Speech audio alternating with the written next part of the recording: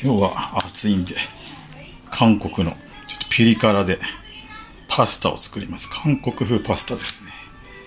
えー、っと、ちょっと、そこまで辛くないのかな？ピリ辛って書いてあるんで、これをいってみたいと思います。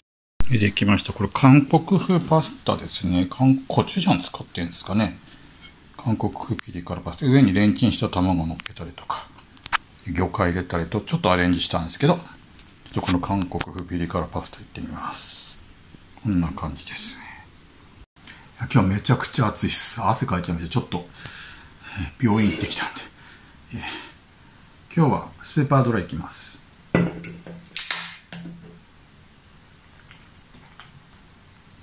あうまい。暑いからうまい。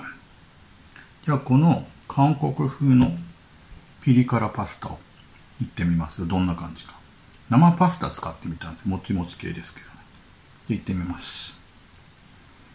きますね。あんま辛くないですね。コチュジャンっぽい味はコチュジャンっぽいんですけど、うん。全然辛くないですね。ただ韓国風ってのはわかります。もう一種類激辛ってのがあったんで、今度そっち食べてみますよ。これまろやか系なんでね、全然辛くないです。なんだろう、なんならあの、アルアラビアータの方がこれより辛いですよ。じゃちょっと卵割ってみますね。卵の黄身あえて。やっぱコチュジャンに合いますね。もっと辛子を効かしてもいいし、キムチもうちょっと入れてもいいかも。普通にうまいですけどね。でも、何味かって言われるとやっぱり韓国ですね。美味しい。最後にいきます。めちゃくちゃうまいです。じゃあゆっくり食べます。今日はめちゃくちゃ暑いっす。やばいっすよ。午前中ちょっといつもの定期検診のね、えー病院行ってて。でそのままなんかセカスト行ったりとかして古着見たりとかして、えー、昼飲みもちらっとして帰ってきたんですけど暑かったっすよ。めちゃくちゃ暑いっすね。今日はやばいっすね。今年一番暑いっすよねきっとね。日差しもやばいし。もうねクーラーやってますよ。暑くて。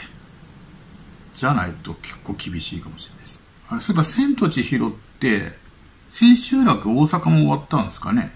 なんかそんな感じですよね。なんか博多ですか次？なんかそれ待っててみたいなことをな、ね、ツイッターでやってた気がしますけど、女優の上白石萌音が、えー、24日自身のインスタグラムを更新。上白石萌音と橋本環奈がダブル主演を務める舞台、千と千尋の神隠しの衣装の靴に感謝し反響が寄せられているってやつですね。大阪公演を終えて千と千尋の神隠し大阪も全公演完走できました。あ、やっぱ終わったんですね。なんか僕の視聴者の方はやっぱ撮れなかったっつってましたね。やっぱすごい人気なんですね。大阪も全公演完走できまして、暑くて暑かったとありがとうございました。次は、博多にお邪魔しますと感謝の気持ちを綴ったということですね。また、上白石は演じている千尋の履いている、履いている靴を両手持ち上げ、笑顔を見せたショットを公開し、靴底全開で湿気、急発進、急停止、転ぶ、滑る、登るなどの負担を一心に受けてくれています。毎度大きに嫌でほんまと関西弁で靴に感謝したってことですね。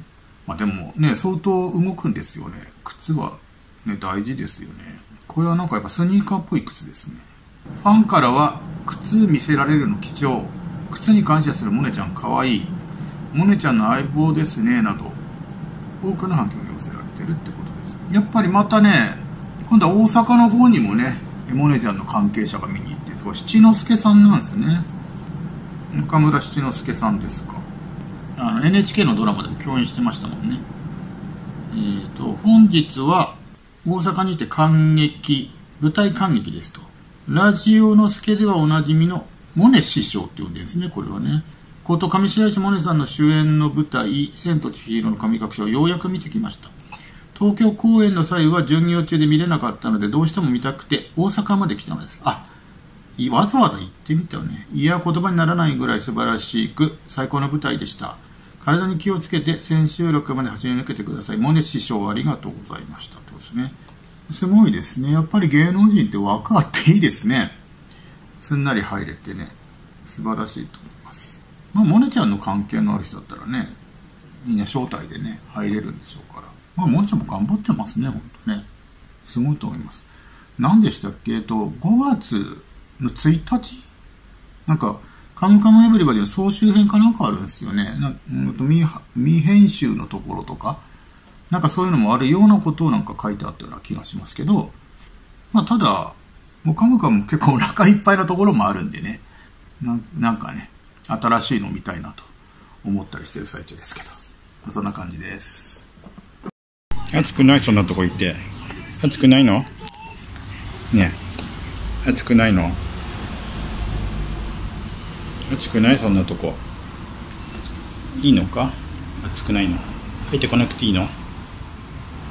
クーラーやってるよ。何？いいな。ここいいのかじゃあ。ここいいの今日暑いよ。暑いや